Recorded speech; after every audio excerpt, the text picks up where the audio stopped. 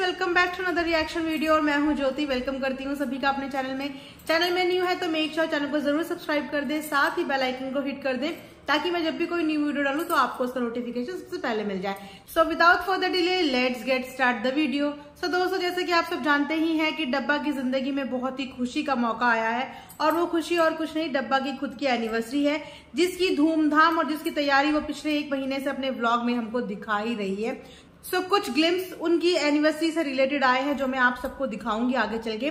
लेकिन उससे पहले हम लोगों को बहुत ज़्यादा ज़रूरी बातें करनी है इसलिए वीडियो को एंड तक ज़रूर देखना। सो so, दोस्तों सुनने में ये आया है कि पहले तो डब्बा बैंगन बनी थी और इस बार बनी है टमाटर।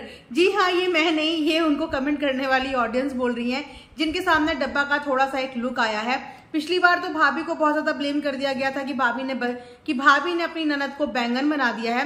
पर इस बार तो भाभी भी ने तो इस बार डब्बा को टमाटर किसने बना दिया?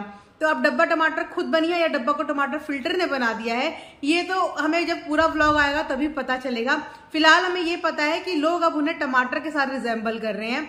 सो अब नए नाम के लिए आप लोग भी रेडी रहना। सो दोस्तों, डब्बा ने अपनी एक बहुत ही ब्यूटीफुल रील पोस्ट करी है। सो सॉन्ग बहुत ही ब्यूटीफुल है लेकिन उसके साथ साथ कमेंट्स भी बहुत ही ब्यूटीफुल ब्यूटीफुल आए हैं। आप लोग चेकआउट ज़रूर करना कमेंट्स पढ़ के आप लोगों को बहुत मज़ा आएगा। वैसे अक्सर ऐसा होता है कि डब्बा जब भी कोई रील पोस्ट करती है उनके कमेंट्स पढ़ने में इतना मज़ा आता है कि रील पे किसी का ध्यान ही नहीं जाता। रील से ज़्यादा इंटरेस्टिंग उनके कमेंट सेक्शन होते हैं। सो so, दोस्तों जैसा कि आपने देखा कि डब्बा किस तरीके से मौधा पहुँची थी और मौधा पहुँचने के बाद डब्बा और डब्बा की शर्मीली अम्मी इस चीज़ की एक्सपेक्टेशन कर रही थी कि उनकी कि उनके स्वागत में इंसान पहले ही बाहर आके खड़ा हो जाए। जैसे कि पता नहीं कौन वीआईपी आने वाला है। जिसकी इज़्ज़त के लिए, जिसकी खातिरदारी के लिए, जिसके स्वागत के लिए पहले से ही वहाँ पे तैनात दिया जाए। तो एक बार भी मौका इस बात से छोड़ा नहीं। थोड़ी सी टीजा टिहान की मम्मी गेट तक आने में लेट हो गई या गेट तक नहीं पहुँच पाई, क्योंकि वो किचन का कुछ काम कर रही थी। तो उन्होंने उनको कई बार इस बारे में सुना दिया कि हम तो ये एक्सपेक्ट कर रहे थे कि तुम हमारे स्वागत के लिए बाहर खड़ी होगी, तुम तो बाहर भी नहीं आई। तो डब्बा तो हमेशा आती जाती ही रहती, डब्बा को कौन सा स्पेशल फ़ील्ड ट्रीटमेंट चाहिए था कि उसके लिए कोई गेट पे खड़ा हो जाता? और रही बात शर्मिली जी की और इनकी सिस्टर की तो ये लोग भी आते जाते रहते हैं।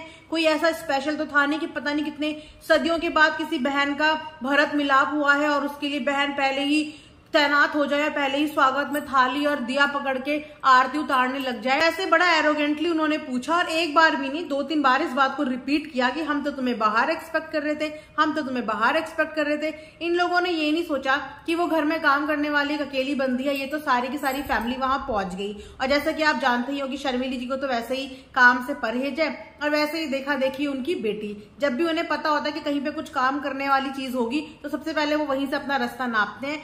कभी ससुराल के लिए रुकने की बात नहीं की होगी, कभी ससुराल में जाने के लिए खुश नहीं हुए होंगे, लेकिन उस दिन ससुराल में इसीलिए जाने के लिए ज़्यादा एक्साइटेड हो रही थी और फनी पे इसीलिए बात डाली जा रही थी फनी को इसीलिए बार बार बोला जा रहा था, क्योंकि डब्बा को पता था कि अगर मैं यहाँ पे रुकी तो हो सकता है मुझे खाना बनाने के काम में हाथ बटाना पड़ेगा तो इससे तो अच्छा है कि मैं अपने ससुराल निकल लेती हूँ, वहाँ पे इनके पास हाउस हेल्प तो है ही, आराम से बैठ के वहाँ पे खाने को भी मिल जाएगा। तो डब्बा बहुत ही शांतपंथी दिखाती हुई वहाँ से निकल गई। और एक बात बड़ी अजीब सी लगी कि जिस तरीके से डॉक्टर खाला के बच्चे अपनी खुद की माँ के साथ बिहेव करते हैं ना, यकीन मानो यहाँ से बैठ के हमें खुद भी अच्छा नहीं लगा उन्होंने एक बार अपनी माँ को ग्रीट तक नहीं किया।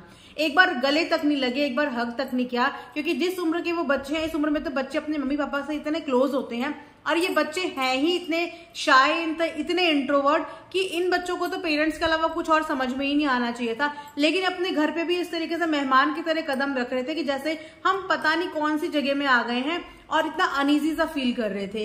इन बच्चों को कोई ये समझाए कि यही इनका घर है और आने वाले टाइम पे हो सकता है इनको यहीं पे अपनी बाकी की ज़िंदगी भी रहना पड़े या गुजारना पड़े या अपनी मम्मी पापा को देखने के लिए यहीं पे आना पड़े। मुंबई रहने और बसने का मतलब ये नहीं कि मम्मी पापा से रिश्ते नाते तोड़ के आप वहाँ पे बैठ जाओ, क्योंकि तो कल को इनकी मम्मी की भी एज होगी, पापा की भी एज होगी तो यही बच्चे तो उनके काम आएँगे। लेकिन अगर बच्चों को गाँव से या अपने जगह से इंट्रोड्यूस ही नहीं कराया गया, बच्चे यहाँ आके इतना अनकंफर्टेबल होने लग जाए तो आप क्या एक्सपेक्ट करो कि कल को ये बच्चे अपने पेरेंट्स को देखने के लिए मौधा आएँगे?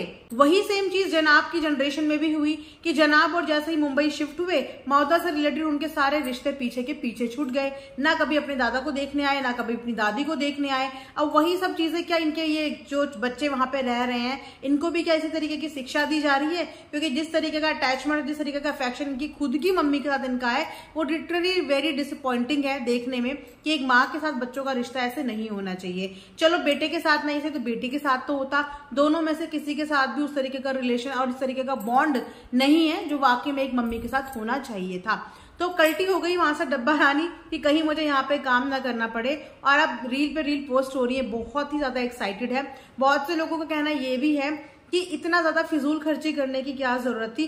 थोड़ा सा पैसा आया नहीं कि उस पैसे को ठिकाने लगाने का बिल्कुल प्लान बना लिया है। क्योंकि गुची का बैग और गुची का पर्स देख के दोनों इस तरीके से उछलने लग गए थे कि जैसे कि पता नहीं अलादीन के हाथ में चिराग लग गया हो या जैसे इन्होंने कभी ये चीज़ देखी ही नहीं हो। वेल well, देखी ही नहीं थी। इसीलिए शायद इस तरीके से उन्होंने एक्साइटमेंट दिखाया बट ले जा सकती थी। क्योंकि इससे कई ज़्यादा खर्चा तो ये अपना बाहर की चटर पटर चीज़ों में कर लेते हैं। एक ब्रांडेड चीज़ और काफ़ी सादी लोकल चीज़।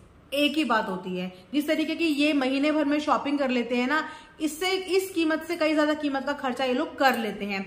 लेकिन वही बात है ना कि किसी ब्रांडेड और किसी एलिगेंट चीज़ पे ये लोग इन्वेस्टमेंट नहीं करेंगे कि जहाँ पे इन्वेस्टमेंट एक सही और एक स्मार्ट इन्वेस्टमेंट होती है। लेकिन आलतू फालतू की चीज़ों में इन्वेस्टमेंट ज़रूर करेंगे, जो बाद में इनके कभी यूज़ की भी ना हो, या बाद में इनको फिट भी ना आए इनको पहनने में भी ना मिले, इनके बॉक्स के अंदर वो ड्रेसेस पड़े पड़े पुरानी हो जाए, लेकिन इन्वेस्टमेंट फालतू की चीज़ों में ही करना है। कभी भी कोई स्मार्ट इन्वेस्टमेंट नहीं करना। ज़्यादा खर्चा भी लोग अपनी एनिवर्सरी पे कर चुके होंगे। वैसे अगर बात की जाए कि डब्बा को ऐसी क्या शिकायतें अपनी शादी से रह गई थी, ऐसी क्या कमी रह गई थी, वरना डब्बा जिस तरीके की कंजूस है ना उसी कंजूसी के चलते चलते डब्बा ने अपना फ्लैट खरीदा।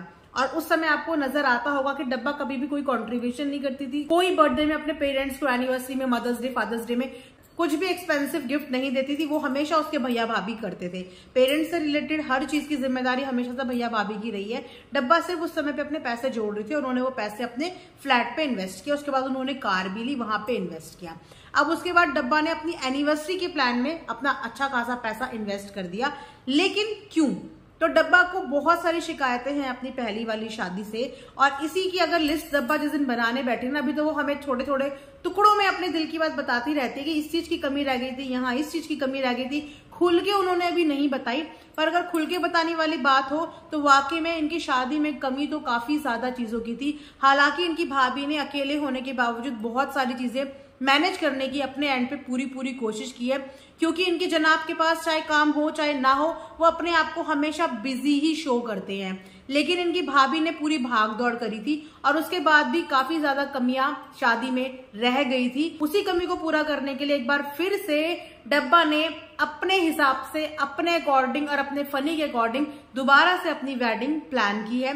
तो अभी वेडिंग ब्लॉग देख के मज़ा आएगा, पता तो चले कि डब्बा ने ऐसा कौन सा गुल खिला दिया। अपनी भाभी के अरेंजमेंट से ऐसा कौन सा चार गुना ज़्यादा अरेंजमेंट कर दिए जिन्हें देखने के लिए और जिस अरेंजमेंट को शूट करने के लिए डब्बा खुद भी एक्साइटेड है ऑडियंस भी एक्साइटेड है कि भाई देखें तो कि डब्बा ने जो अपने दिमाग से इस बार किया है, वो डब्बा ने कैसा किया है और कहाँ तक किया है। शायद बोल रहे हैं कि ये भी रीजन हो सकता है कि इसीलिए भी इनकी भाभी नहीं आई, क्योंकि इस बार इनकी भाभी को वो इम्पोर्टेंस फील कराई ही नहीं गई, वो गार्जियन वाला बिहेव वो गार्जियन वाली इंपॉर्टेंस वो वैल्यू उनको दी ही नहीं गई। इस बार सारे अरेंजमेंट डब्बा ने और फनी ने अपने आप से करे हैं। आपने खुद भी देखा होगा कि उन्होंने किसी की भी, किसी भी चीज़ में इस बार कोई भी राय नहीं ली। जहाँ डब्बा एक सुई तक की चीज़ों में अपने भैया भाभी की राय के बिना कुछ करती नहीं थी, वहाँ पर डब्बा ने अपनी हर चीज़ के लिए अपने आप इंडिविजुअल डिसीज़न लिया है इस बार।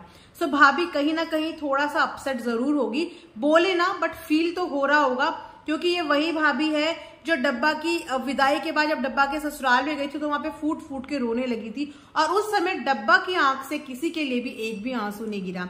डब्बा बिल्कुल नॉर्मल थी चुप थी और भाभी को चुप करा रही थी, लेकिन रोई नहीं डब्बा।